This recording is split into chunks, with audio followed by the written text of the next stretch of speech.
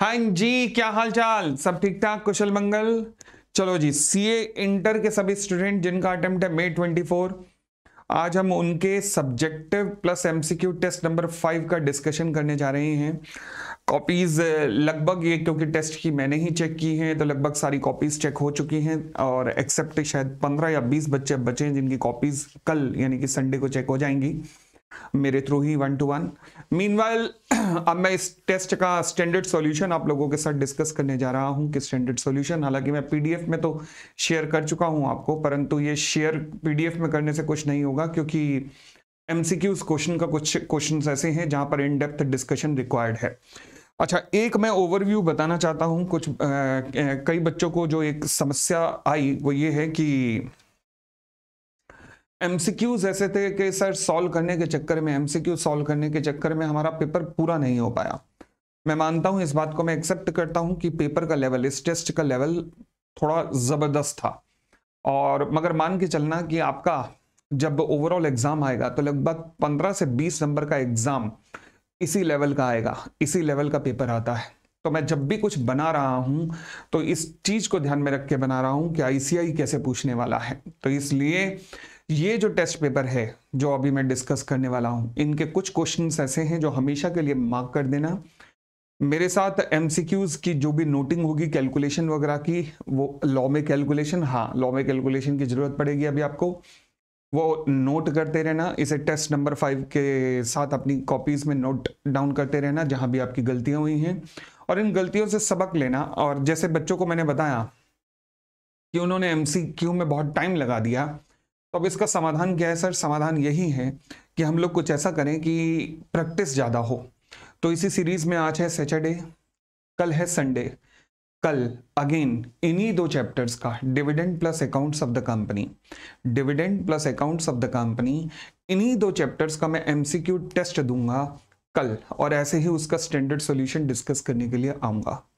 Clear मैं चाहता हूँ ज़्यादा से ज़्यादा प्रैक्टिस हो, ज़्यादा से ज़्यादा जितनी ज़्यादा प्रैक्टिस होगी, उतना ज़्यादा बेहतरीन उतना ज़्यादा बेहतरीन टाइमिंग निकल पाएगी आपकी। ठीक है ना? तो यही कोशिश है। चलिए, अब हम टेस्ट डिस्कस करते हैं। मीनवाइल जो बच्चे जिनका मे 24 अटेम्प्ट है प्लीज़ मेक श्योर कि हमारी रिवीजन फ़र्स्ट ऑफ़ मार्च से शुरू हो रही है।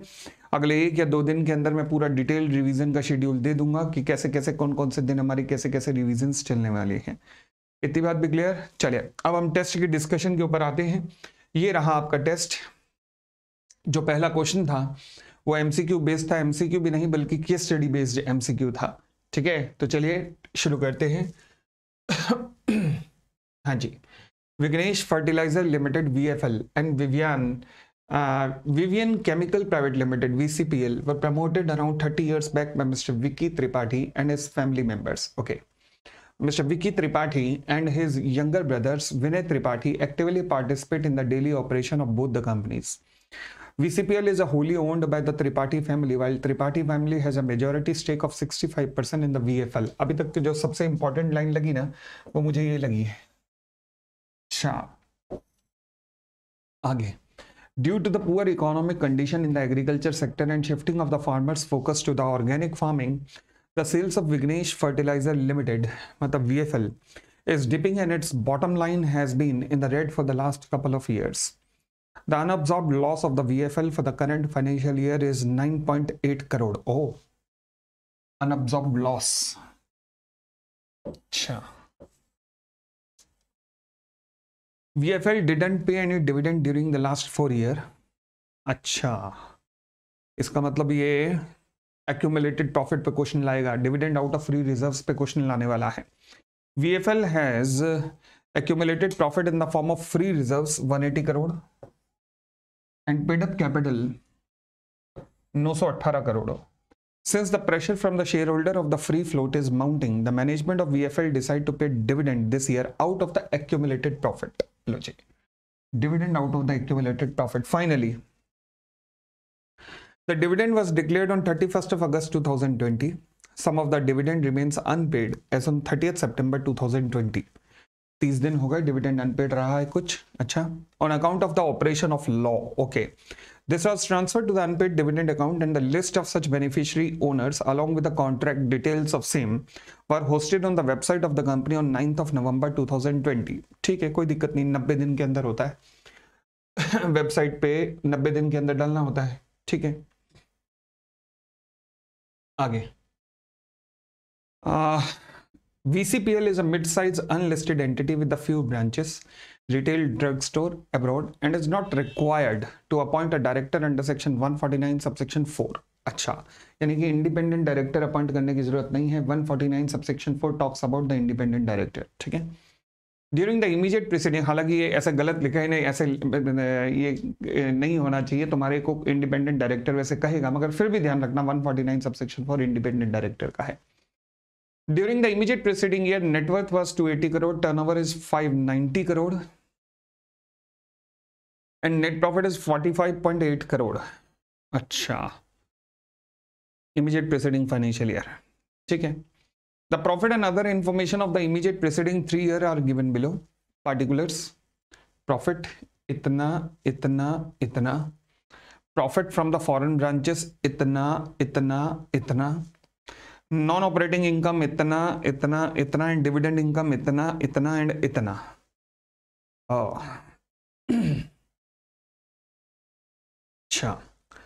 the board of directors of VCPL is not clear whether they have to compulsory form a CSR committee In order to avoid adverse legal consequences, VACPL constitute a CSR committee constituting of two non-executive director and one executive director. बिल्कुल ठीक किया क्यों क्योंकि company is not required to appoint an independent director तो अगर independent director नहीं है और फिर भी लिमिटेड कंपनी है तो फिर तीन डायरेक्टर की सीएसआर कमिटी होनी चाहिए बिल्कुल ठीक किया इन्होंने आगे who was appointed as the chairperson of the committee अच्छा अब आते हैं क्वेश्चन शुरू होते हैं in case of a VFL regarding the unpaid dividend which of the following statement is correct?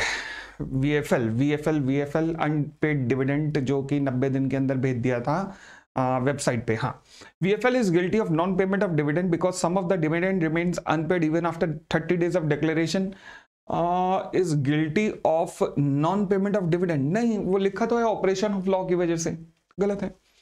V F L is guilty V F L is guilty because the list of the beneficiary of the unpaid dividend is hosted on the website after thirty days from the date हाँ तो ठीक है ना ninety days के अंदर होना चाहिए तो कोई दिक्कत नहीं है और आगे VFL is guilty because the list of the beneficiary does not contain the latest known address of the beneficiary and amount unpaid.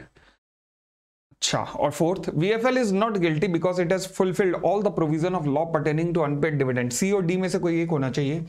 सी क्या कहते हैं? List of the beneficiary does not contain the latest known address and amount unpaid भाई, ये तो आना ज़रूरी होता है। नब्बे दिन के अंदर वेबसाइट पे ये address of beneficiary and amount आना ज़रूरी होता है। क्या इन्होंने नहीं दिया क्या? वीएफएल ने? वीएफएल ने अनपेड डिविडेंड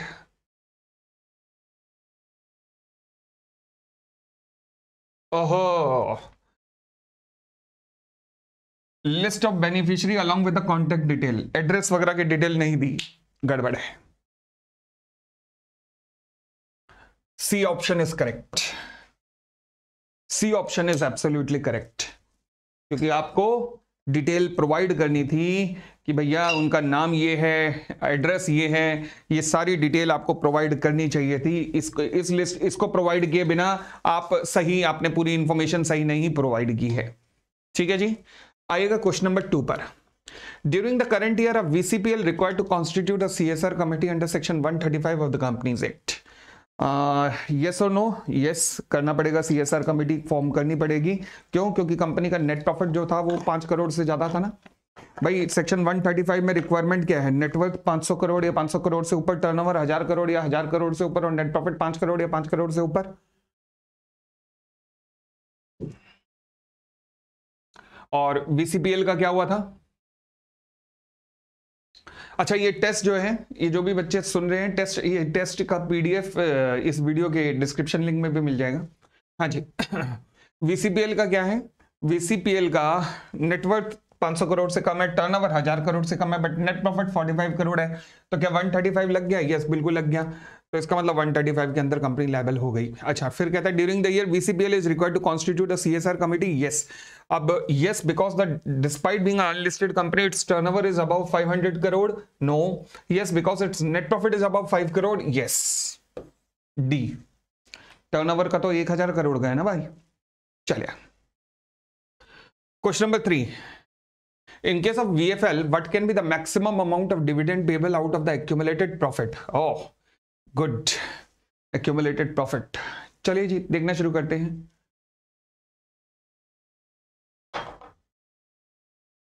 एक्यूमुलेटेड प्रॉफिट निकालना ना आपने? लो जी अनऑब्जॉर्ब डेप्रिसिएशन दे रखी है। ये रहा। अच्छा ये लिखा हुआ है कि पिछले चार साल में कभी डिविडेंड नहीं पे किया। याद करो रूल नंबर थ्री जब भी हम डिविडेंड पे करते हैं out of the free reserves rule number three के अंदर पे किया जाता है। पहला सब रूल नंबर वन क्या कहता है? कहता है, पिछले तीन साल के डिविडेंड का एवरेज ले लो। परंतु ये नहीं देखना, अगर इन तीन में से किसी भी साल में, इन तीन में से एनी वन ईयर में कंपनी ने अगर डिविडेंड पे नहीं किया, वो तो कह रहा है, एक साल में भी डिविडेंड पे नहीं किया तो ये सब रूल नहीं लगेगा, यहाँ तो तीनों साल में नहीं पे किया। सब रूल नंबर वन नहीं लगेगा। सब रूल नंबर वन नहीं लगेगा, ठीक है? सब रूल नंबर टू जो डिविडेंड है वो कहाँ से पे किया जाएगा? वो पे किया जाएगा ten percent of the paid up capital plus free reserve paid up capital कितनी है? 918 प्लस फ्री रिज़र्व कितने हैं? 180 918 प्लस 180 और उसका 10 परसेंट ले लो. उसका 10 परसेंट ले लो. कहा गया? ये रहा. 10 percent of ten percent of paid up capital plus free reserves अच्छा पेडअप कैपिटल कितनी है? 980 और 980 थी ना भाई? एक मिनट रुकना। 918 प्लस 180 918 प्लस 180 918 प्लस 180 और इसका टेन परसेंट। तो कितना हो गया? अठारह सौ नौ सौ, एक हज़ार अस्सी और रह लो जी।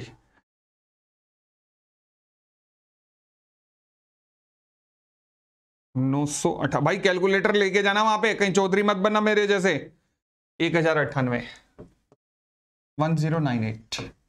ठीक है जी, टेन परसेंट। तो टेन परसेंट कितना हुआ? One zero nine point eight zero. ठीक है जी। अब जो जितना भी आपने निकाला है टेन परसेंट वो सबसे पहले उसमें से लॉस माइनस करते हैं। सब रूल नंबर टू यही कहता है। सब रूल नंबर टू क्या कहता है? Ten percent of the paid up capital plus free reserve और जो जितना भी आपने टेन परसेंट निकाला, वो सबसे पहले लॉस को सेट ऑफ़ करने में यूज़ किया जाएगा। लेस लॉस अनअब्जॉर्ब लॉस कितना है? कितना है? 9.80 यानी कि हो गया 100 लो जी। ये हो सकता है मैक्सिमम डिविडेंड मैक्सिमम डिविडेंड कितना बांटा जा सकता है? 100 100 करोड़ रुपए का मैक्सिमम डिविडेंड बांटा जा सकता है। मुझे लग रहा है क्वेश्चन वहाँ लेके जा रहा है जहाँ ये एक्सट्रीम लेवल पे पहुँच जाएगा, जहाँ तक मेरा शक है। चलो, खैर तो इसका मतलब अगर ये वही क्वेश्चन हुआ, अभी बताता हूँ। अब, सब रूल नंबर तीन। सब रूल नंबर तीन कहता है कि balance of reserve after such withdrawal इस विड्रॉल के बाद ये जितना सौ करोड़ का विड्रॉल है उसे रिजर्व्स में से निकालने के बाद, अब जो रिज़र्व बचा है, जो रिज़र्व बचा है, वो पंद्रह percent of the paid up capital से ज़्यादा है।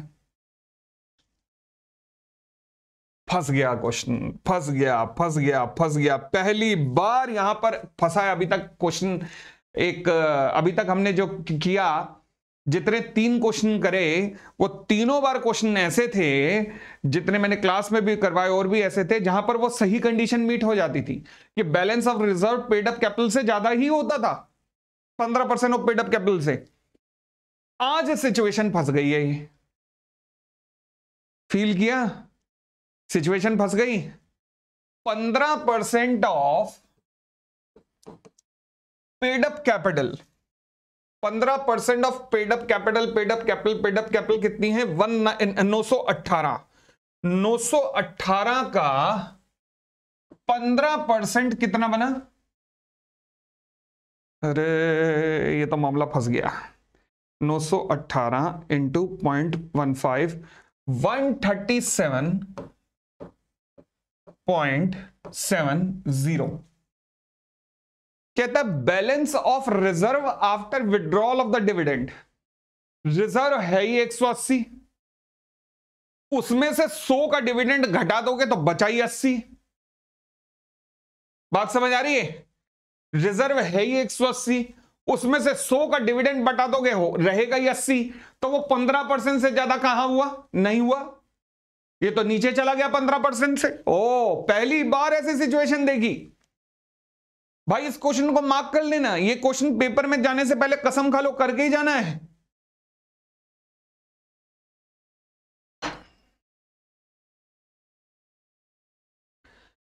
तो अब क्या करूँ? देखो जी, मुझे पंद्रह परसेंट चाहिए। बैलेंस ऑफ़ रिज़र्व जो है, मुझे पंद्रह परसेंट चाहिए। बैलेंस ऑफ़ रिज़र्व कितना है? मैंने कहा जी, ये है जी 180 है। मुझे 15 परसेंट मतलब यहाँ तक चाहिए, यहाँ तक चाहिए मुझे बैलेंस ऑफ़ रिज़र्व यही है ना, यहाँ तक चाहिए। अच्छा है कितना रिज़र्व 180 मगर 180 नहीं है। माइनस 9.80 जरा ये तो घटा तो दू 9.80 क्योंकि 180 में अभी ये जो करंट ईयर का प्रॉफिट ये जो लॉस है, ये थोड़ा ना कंसीडर किया होगा। तो इसको कंसीडर करो। तो ये हो गया आपका 189.80 देखो, मुझे चाहिए इतना रिज़र्व मुझे वहाँ मेंटेन रखना है, इतना। और अच्छा ओहो, मैंने प्लस कर दिया क्या? अरे, पोपली, क्या कर रहा है यार? प्लस कैसे कर दिया तूने? लो जी। कितना हो गया? 180 माइनस ये हो गया आपका 170.20 यही हुआ? 170.20 यही हुआ? हाँ जी। अब देखो जी। अब क्या करना है आपको? आपको इतना बैलेंस मेंटेन रखना है। दोबारा सुन लेना। इतना बैलेंस मेंटेन रखना है कि आपका रिज़र्व यहाँ तक रहे। है कितना? इतना बचा है। रखना कितना है? इतना। तो मुझे बताओ मैक्सिमम डिविडेंड कितना दे सकते हो ताकि इसमें से इतना डिविडेंड दो कि यहाँ तक तो ज़रूर बचे। आज तक ये प्रॉब्लम नहीं आई थी। क्योंकि आज तक हमेशा पंद्रह परसेंट से ऊपर ही निकल रहा था। मामला आज फंसा है।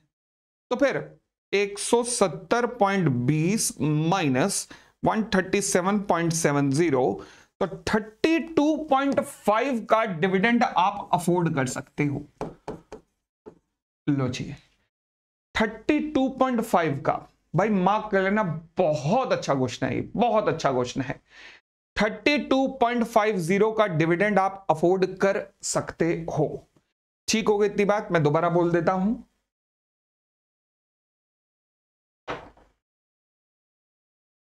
जिन्होंने भी ये ठीक किया है हेड्स ऑफ़ टू देम और उम्मीद करता हूँ कहीं कुछ मतलब तिगड़मबाजी नहीं बिठाई होगी, सही किया होगा। बट फ़िलहाल दोबारा बोल देता हूँ। देखो जी, आज पहली बार हमारे आगे ये समस्या आई। समस्या क्या थी कि अभी तक हमने दो तीन जितने क्वेश्चन ट्राई किए, सब में क्या था? Balance of the reserves after withdrawal पंद्रह percent of paid up capital से ज़्यादा था। आज पहली बार हम देख रहे हैं कि balance of reserve after withdrawal पंद्रह percent of paid up capital से कम जा रहा है। तो कम जा रहा है तो भैया मुझे पंद्रह परसेंट तक तो मेंटेन रखना है, पंद्रह परसेंट तक मेंटेन रखना है तो देखो बैलेंस ऑफ़ रिज़र्व कितना बचा। बैलेंस ऑफ़ रिज़र्व मतलब जितना रिज़र्व था माइनस उसमें से करंट ईयर का लॉस माइनस कर दो तो बाकी बचा बैलेंस ऑफ़ रिज़र्व अब बैलेंस ऑफ़ रिज़र्व पंद्रह percent of paid up capital से नीचे नहीं गिरना देना तो फिर अभी 170.20 में से इतना डिविडेंड दे दो 32.50 की वो 137.70 तक आ जाएगा, कोई दिक्कत नहीं। तो बत्तीस आपका मैक्सिमम डिविडेंड है। ठीक होगी इतनी बात? हाँ जी। क्या हमारे पास ऑप्शन है? Thirty two point five thirty हाँ ये रहा 32.5 लो जी। ठीक हो गई इतनी बात भी? और आगे बढ़े? चले। Considering the legal provisions regarding the constitution of the C S R committee and the one constituted by the L state which of the following statement hold truth अच्छा। The constitution of the committee is invalid C S R committee के बारे में आ, याद आ रहा है? हाँ सी एस आर कमिटी ठीक है। Considering the legal provision regarding the constitution of C S R committee and one constituted by the V C P L state which of the following statement hold truth the constitution of the committee is invalid because it does not consist of independent director भाई independent director लिखा required करने appoint करने की ज़रूरत नहीं है तो फिर क्यों करें? आगे constitution of the committee is invalid because its chairperson is an executive director ऐसा कोई कानून हमने पढ़ा? नहीं. Constitution of the committee is invalid because it depend purely on the description of the management ये ऐसा नहीं होता. कम से कम तीन डायरेक्टर होते हैं, लिखा है, उसमें से इंडिपेंडेंट डायरेक्टर होना चाहिए और अगर नहीं रिक्वायरमेंट है तो नहीं होना चाहिए. तो constitution of committee is valid because the company is not required to appoint an independent director बिल्कुल ठीक कह रहा है. डी ऑप्शन इज़ करेक्ट ठीक है, आगे बढ़ते हैं। What is the minimum amount to be spend by the VCPL on the CSR activities अच्छा मुझे जहाँ तक जाना है सीएसआर में भी बड़ा सॉलिड धासु क्वेश्चन था ये। हाँ मतलब इस क्वेश्चन को नहा मतलब करके ना गंगा स्नान की प्राप्ति हो जाएगी, ऐसा क्वेश्चन है माफ़ कर लेना एग्ज़ाम में जाने से पहले लास्ट डे कुछ गिने चुने क्वेश्चन करने, जिनमें से ये है। टॉप हंड्रेड क्वेश्चन तो करने ही करने ये भी ज़रूर करना, ध्यान रखना। टॉप हंड्रेड क्वेश्चन में वो करने हैं जहाँ पे आप फंस रहे हो, जहाँ नहीं फंस रहे वहाँ नहीं करने की ज़रूरत। मगर ये क्वेश्चन करना ही करना है, हर हालत में मेरी तरफ़ से हाईली रिकमेंडेड है हाँ जी। पिछले तीन साल का डेटा ये है। हमारा सीएसआर की कैलकुलेशन कैसे निकलती है? एवरेज निकालना पड़ता है पिछले तीन साल का। एवरेज नेट प्रॉफिट लेना पड़ता है पिछले तीन साल का और उसका दो परसेंट करते हैं। ये तो है calculation but average net profit निकालते हुए कुछ बातों का ध्यान रखना पड़ता है। नेट प्रॉफिट की डेफिनेशन देखो बुक में क्या लिखी हुई है। जब आप नेट प्रॉफिट की डेफिनेशन देखोगे तो नेट प्रॉफिट की डेफिनेशन में क्लियर कट लिखा हुआ है कि नेट प्रॉफिट निकालते हुए कोई भी प्रॉफिट फॉरन ब्रांचेस का जो प्रॉफिट है वो कंसिडर्ड नहीं किया जाएगा। सिमिलरली डिविडेंड इनकम भी कंसिडर्ड नहीं की जाएगी।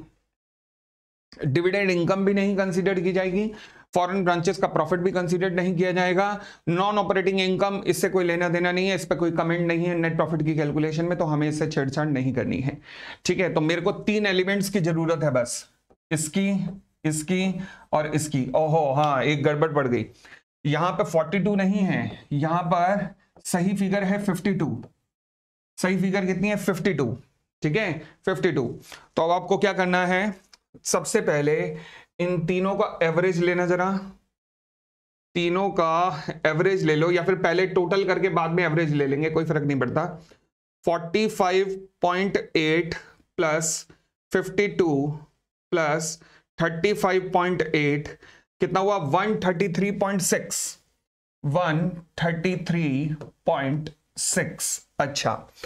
प्रॉफिट फ्रॉम फॉरेन ब्रांचेस तीनों का टोटल कर दो। 1.8 प्लस 9.1 प्लस 5.4 कितना हुआ? 16.30 ओके नॉन ऑपरेटिंग इनकम का मुझे कुछ लेना देना नहीं है।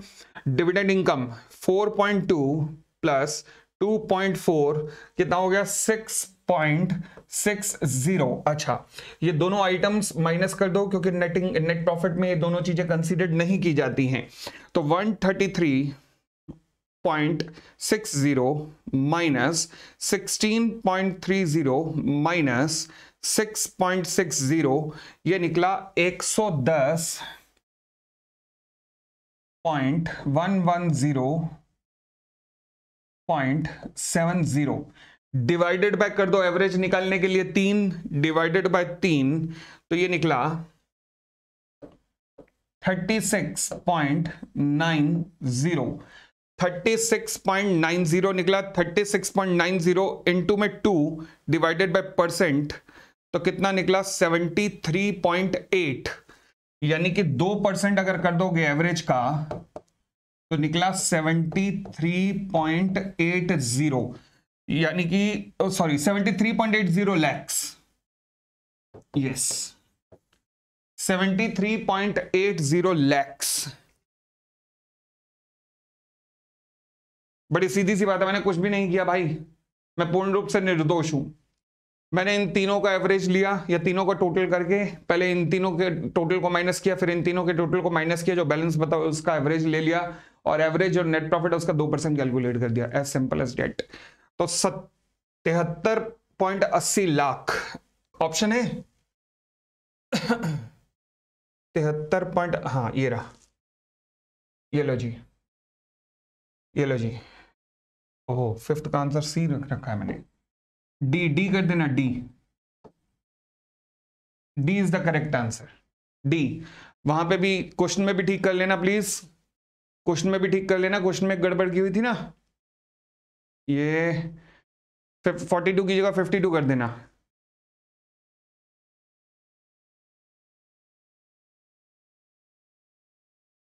बहुत बेहतरीन क्वेश्चन बहुत बेहतरीन क्वेश्चन था। मार्क कर लेना इसे। ठीक है? आइएगा क्वेश्चन नंबर टू की तरफ़।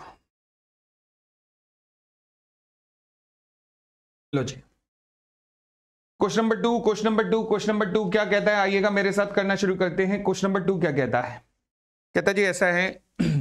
Mister Abhinav Gyan is a techie and one of the promoter of the Doon technologies limited He did his engineering from one of the prestigious IIT in the computer sciences and then pursued his master's in the management from IIM. He started DTL 15 years back. DTL is famous for advanced technologies such as artificial intelligence, blockchain solution, and many others. The company went public a decade ago but has not been listed yet. DTL is expanding its operation in the wake of the opportunities arising out of the industrial revolution.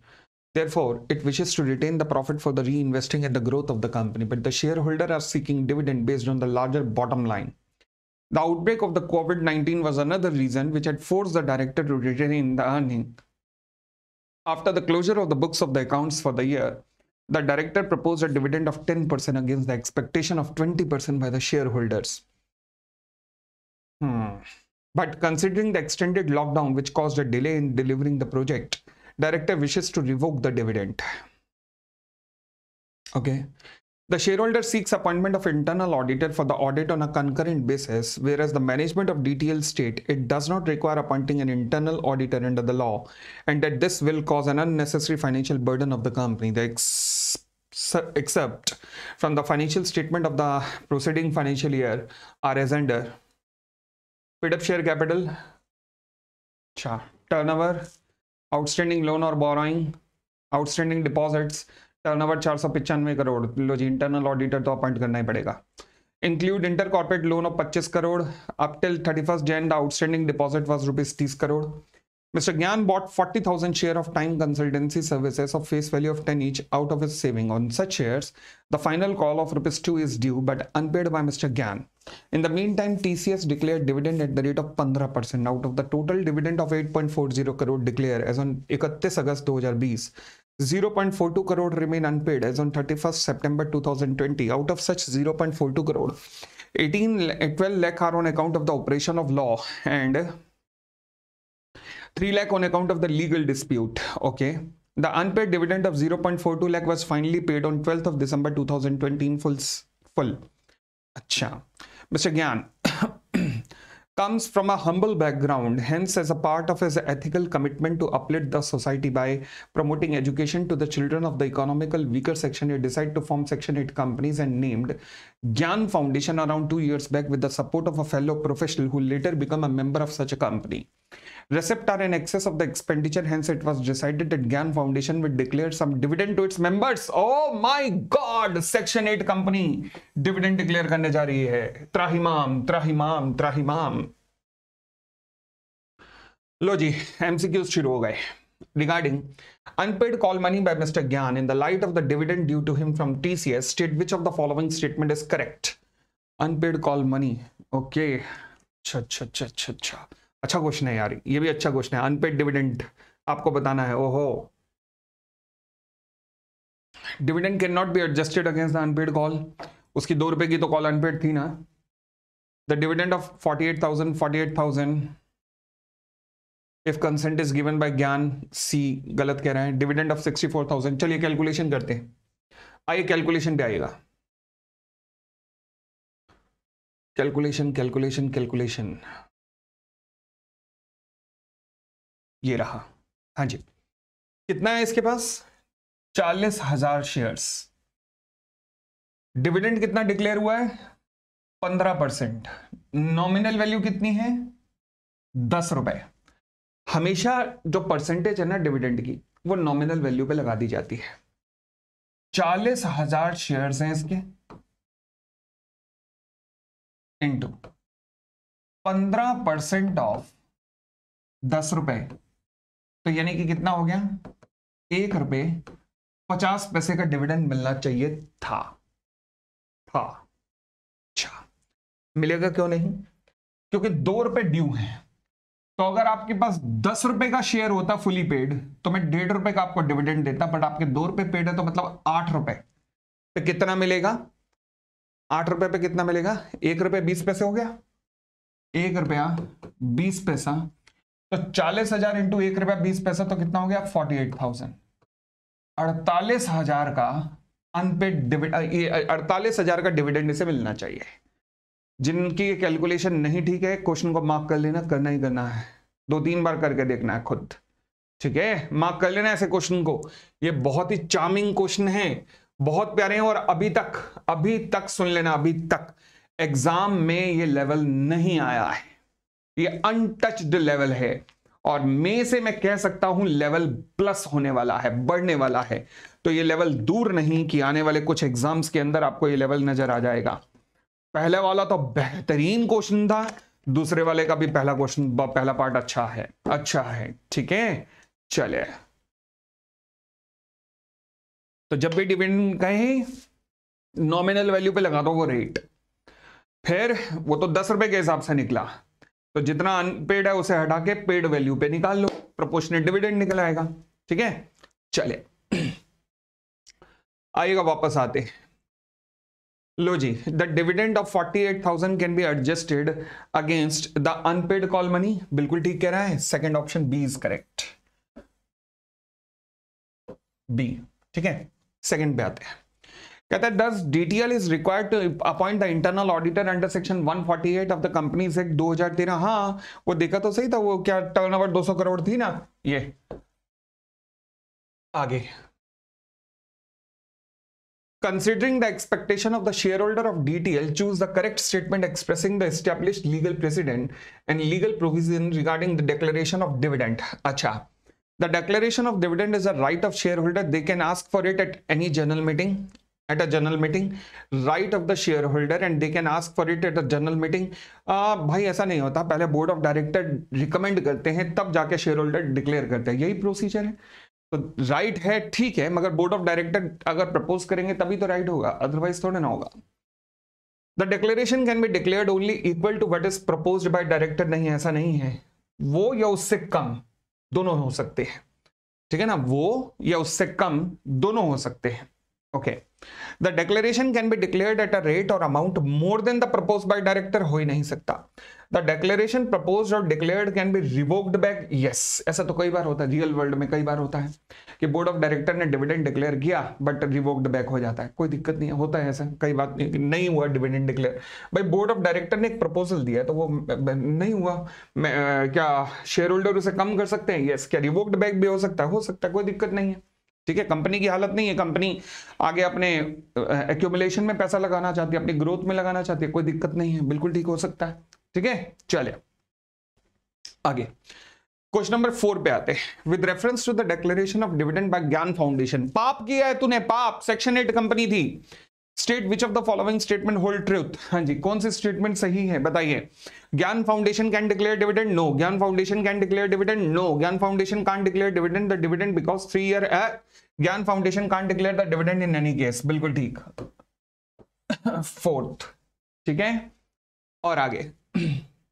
What will be the amount of the penalty which TCS need to pay under section 127 भाई 127 की penalty का amount निकालना ना, करके जाना, ये calculation करके जाना, क्योंकि आ सकता है इसके ऊपर क्वेश्चन कितना होती है पेनल्टी फ़िलहाल? किसके ऊपर पूछी है? ऑफिसर इन डिफ़ॉल्ट या कंपनी टीसीएस मतलब कंपनी के ऊपर पूछी है। 127 में कितनी पेनल्टी है कंपनी के ऊपर? इंटरेस्ट कितना? 18 percent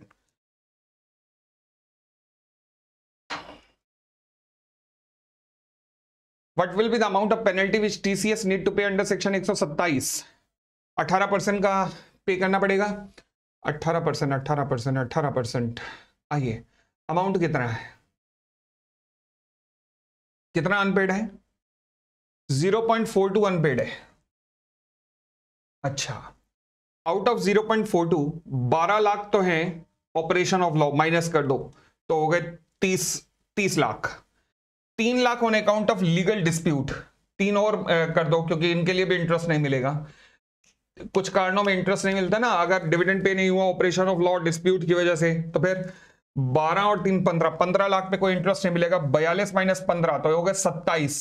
सत्ताईस लाख पे मिलेगा। सत्ताईस लाख सत्ताईस लाख इंटू अट्ठारह परसेंट इंटू ये तो साल का हो गया। अब सितंबर लास्ट डेट थी, आपने पेकअप किया 12 दिसंबर, यानी कि अक्टूबर का 31 महीने प्लस दिसंबर के 12 31 और 12 कितने हो गए भाई? नवंबर, ओहो सॉरी अक्टूबर, नवंबर भी तो है, अक्टूबर 31 नवंबर 30 इकसठ और 12 इकसठ और 12 बारह ना? हाँ 73 डिवाइडेड बाय 365 लो जी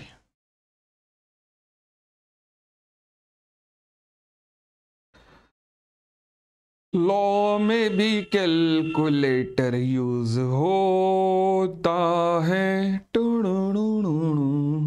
लॉ में भी कैलकुलेटर यूज़ होता है।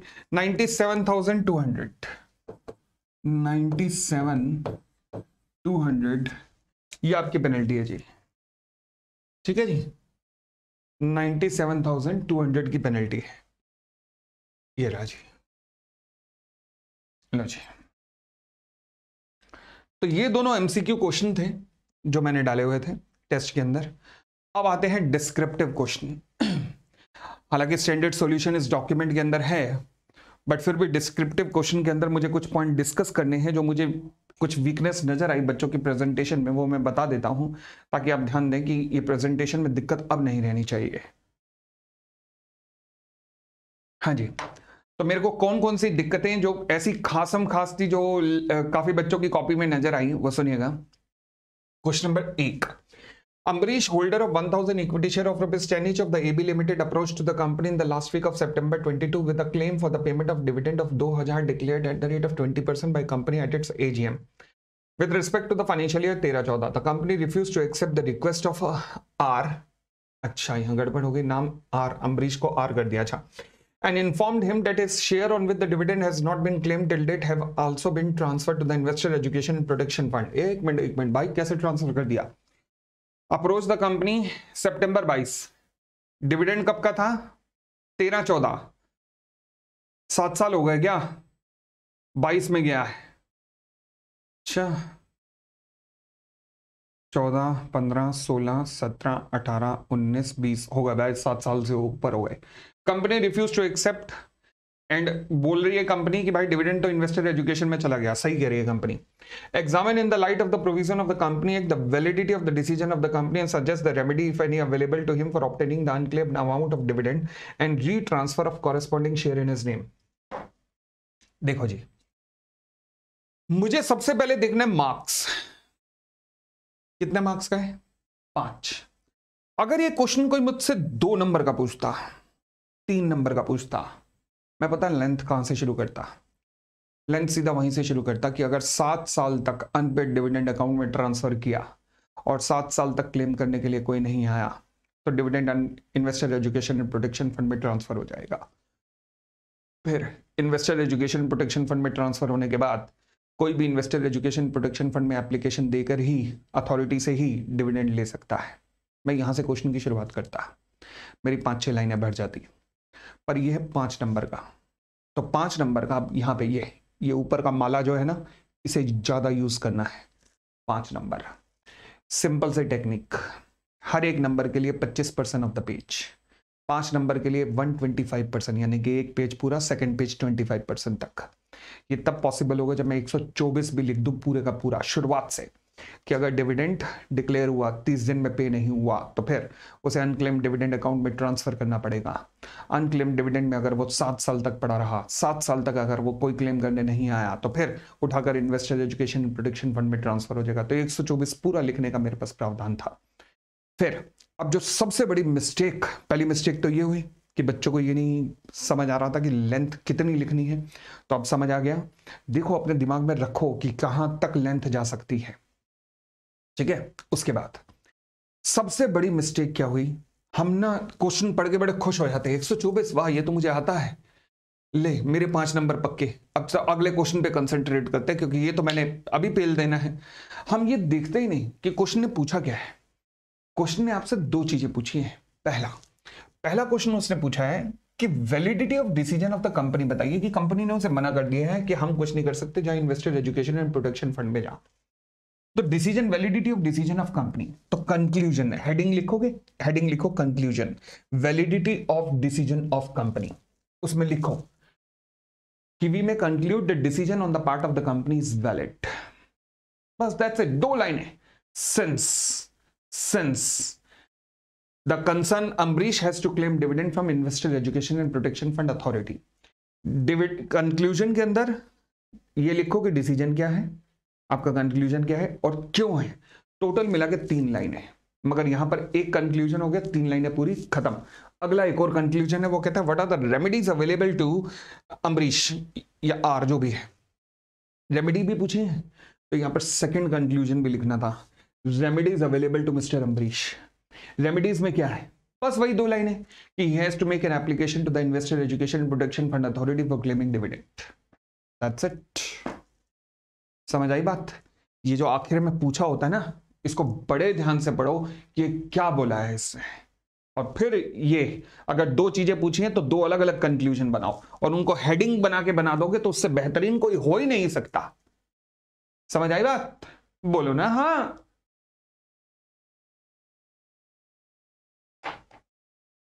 नेक्स्ट तो इस तरीके से सॉल्यूशन सारा दिया हुआ देख सकते हो। अच्छा अब क्वेश्चन का आंसर लिखते हुए कुछ हेडिंग्स दिए हुए हैं। जैसे इसे हेडिंग्स में बांटा गया है हेडिंग्स की, नीचे दिया गया है। मैं कहूँगा कि मत करना हेडिंग्स में मत करना, क्योंकि उसमें कहीं गड़बड़, वड़बड़ ना कर पाओ। आप आराम से, ध्यान से 124 लिखा, उसके नीचे आप प्रोविज़न लिखने शुरू करो सेमिकलन से। आप वन टू थ्री फोर भी मत लिखना, ये हेडिंग वाले में लिख सकते हैं अदरवाइज़ नहीं लिख सकते। सेमिकलन से पैराग्राफ तोड़ते जाओ। हर तीन, चार लाइन के बाद सेंटेंस खत्म करने के बाद पैरा तोड़ो। अगली लाइन से सेमिकलन डालो नंबरिंग मत करना, सेमिकलन डालो, अगला पैरा शुरू कर दो। बार बार मैं बच्चों को ये कह रहा हूँ, बार बार। जो लंबे लंबे पैराग्राफ लिख रहे हैं, दस, पंद्रह लाइन के, इसका मतलब आपके अंदर कॉन्फिडेंस नहीं है। ठीक है? और जो भी कीवर्ड्स हों खासकर जब नंबर आए अंडरलाइन कर दो। कीवर्ड्स आपको लगे फॉर एग्जांपल 124 में कीवर्ड कितना प्यारा है, कि अगर 30 दिन तक डिविडेंड पे नहीं हुआ तो फिर उसके बाद उसे अनक्लेम डिविडेंड अकाउंट में ट्रांसफ़र कर दो अगले सात दिन के अंदर। कितना प्यारा था अनक्लेम डिविडेंड अकाउंट में ट्रांसफ़र कर दो। ये कीवर्ड था। मार्क करो ना इसे। चले। आगे, ये कंक्लूजन लिख दिया आपने। Remedies one conclusion second conclusion अच्छा होता है हेडिंग डाल के लिखो, और बेहतरीन। क्वेश्चन नंबर टू पे आते हैं। द बैलेंस एक्स तीन नंबर का क्वेश्चन है। सबसे पहले ध्यान यहाँ जाना चाहिए, तीन नंबर पे है। लेंथ मैनेज, एक पेज का 75 परसेंट हिस्सा मुझे कवर करना है। ठीक है? The balance extracted from the financial statement of the Swastik limited follow. Particular network turnover, net profit. Balance 31 March, audited figure. मुझे यही देखनी होती है। बैलेंस एज पर प्रोविजनल फिगर, नहीं देखनी। नेट प्रॉफिट 100 500 एक crore. Examine the provision of the company act you are requested to examine whether the swastik limited is required to constitute the corporate social responsibility committee हाँ जी क्या CSR committee बनाने की ज़रूरत है देखो 135 कोट किया 135 कोट किया उसके बाद एवरी कंपनी हैविंग अब बच्चों ने क्या कमी क्या दिक्कत की इसी पैरा में ले नेट प्रॉफिट तो ये ले टर्नओवर तो ये ले नेट प्रॉफिट अरे भाई प्रेजेंटेशन की धजिया उड़ा दी तुमने मौका है, तीन अलग अलग लिमिट हैं, उनको अलग अलग नहीं दिखा सकते, ये दिखाया नहीं हुआ अलग अलग नहीं दिखा सकते।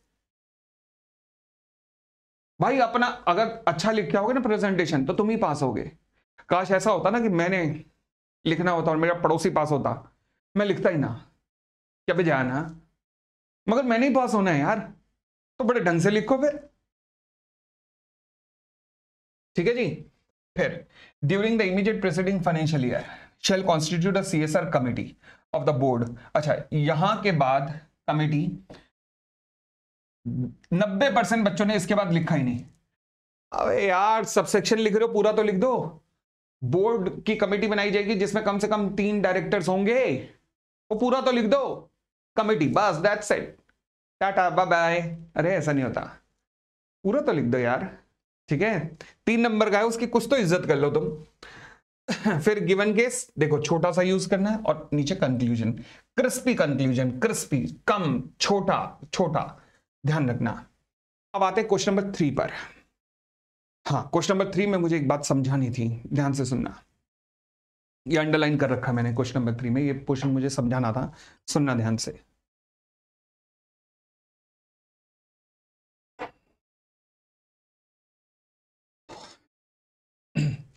Richlook limited declare dividend at its AGM held on 31 July 2023 the dividend warrant to mister A shareholder was posted on 22 August 2023 declare हुआ 31 जुलाई को और वारंट पोस्ट कर दिया 22 अगस्त को, ठीक है? Due to the postal delay mister A receive the warrant on fifth सितंबर अच्छा तीस दिन बाद and encash it subsequently okay mister A initiated action against the company for the failure to distribute the dividend within thirty days of the declaration under the provision of the Companies Act 2013 अच्छा फिर कहता है अब सुनना जी। क्या dividend warrant पहली बात तो वारंट होता क्या है? वारंट होता है एक तरीके का कैश बिल्कुल कैश जो मतलब आपके अकाउंट में आता ही क्रेडिट हो जाएगा, एकदम एक तरीके से ऐसा है जो आपने कैश डिपॉजिट करा दिया हो। डिविडेंड वारंट के केस में एक प्रोविज़न है, ध्यान रखना। डिविडेंड वारंट के केस में एक प्रोविज़न है, वो क्या? ये एकदम कैश है, समझ लेना। ये प्रोविज़न नोट करना जरा। In case of in case the dividend is paid by issuing dividend warrant such warrant must be posted at the registered address within the prescribed time मतलब तीस दिन के अंदर।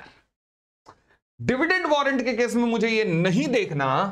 It is immaterial are received within thirty days by the shareholder not ये बहुत बेहतरीन point है।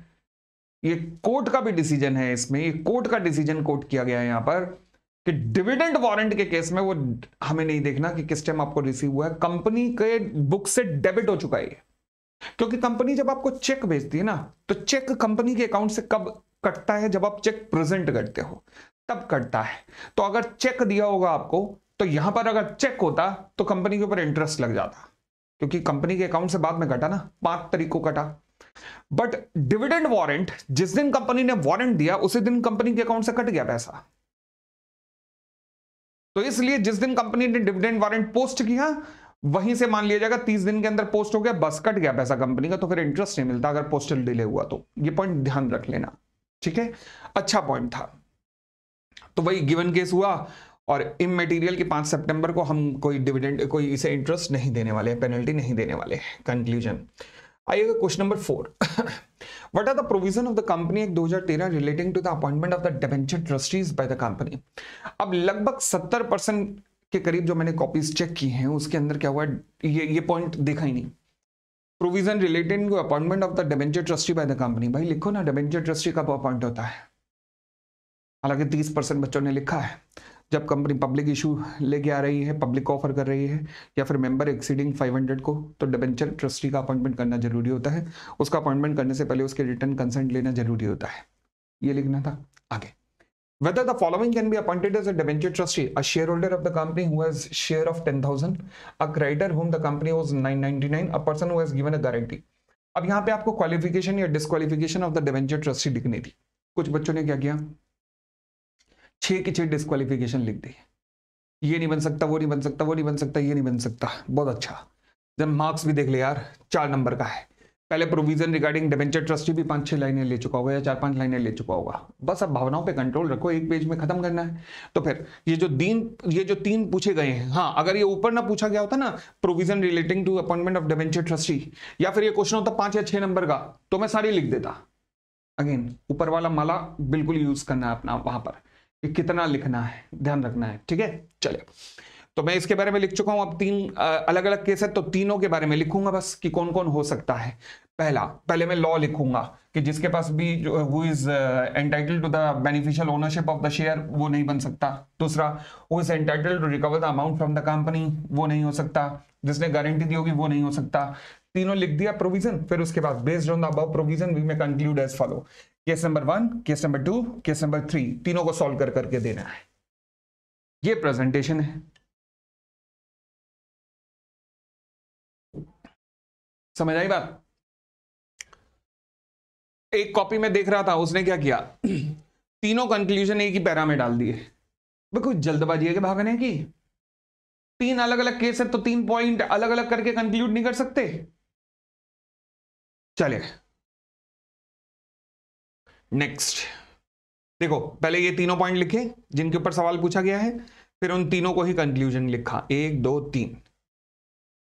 Question number पाँच last question red limited the company was incorporated on first of April 2020 the balance extracted from its audited financial statement are given below financial year net profit before tax net profit after tax ignore the income tax calculation अच्छा 2020 21 21 22 ये भी अच्छा question है CSR के ऊपर।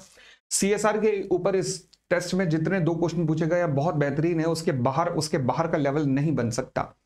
ये दोनों question अगर आपने कर लिए तो बस दो परसेंट की कैलकुलेशन इससे बाहर बन ही नहीं सकती, ठीक है ना? तो इतनी बाहर, इतने बेहतरीन दोनों क्वेश्चन कवर हो गए हैं सी एस आर के यहाँ। अब एक बात ध्यान रखना, जब भी आप लेते हो तो क्या उठाना है आपने? The balance extracted from the audited financial statement net profit after tax नहीं नेट प्रॉफिट बिफोर टैक्स उठाना है। नेट प्रॉफिट बिफोर टैक्स लेना है, ध्यान रखना आपने, ये। ठीक है? बिफोर टैक्स क्यों लेना है? क्योंकि एक्चुअल में जो कैलकुलेशन होती है ना, वो 198 के अकॉर्डिंग होती है। सेक्शन 198 के अकॉर्डिंग 198 हमारे सिलेबस में नहीं है। बट इतना ध्यान रखना कि हमें नेट प्रॉफिट बिफोर टैक्स लेना होता है। ठीक है? क्योंकि 198 के अनुसार कैलकुलेशन हमें करनी होती है तो उसमें टैक्स की कैलकुलेशन को कंसिडर करने से पहले की प्रॉफिट उठाया जाता है। तो ठीक है? तो पाँच और सात। बारह बारह करोड़ का हो गया आपके दो साल का प्रॉफिट डिवाइडेड बाय दो तो छह करोड़ छह करोड़ का दो परसेंट मतलब बारह लाख का कंट्रीब्यूशन होना है।